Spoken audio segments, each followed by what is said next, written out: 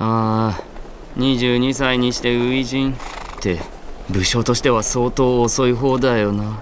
やっべ大丈夫かな俺。ちゃんとお城とか買えるようになんのかな。いや無理じゃね？絶対高いっしょ城。大丈夫かよ俺。うん大丈夫なのかよ俺！お家欲しくなったらホーム。まずはウェブで簡単シミュレーション。いけるな俺。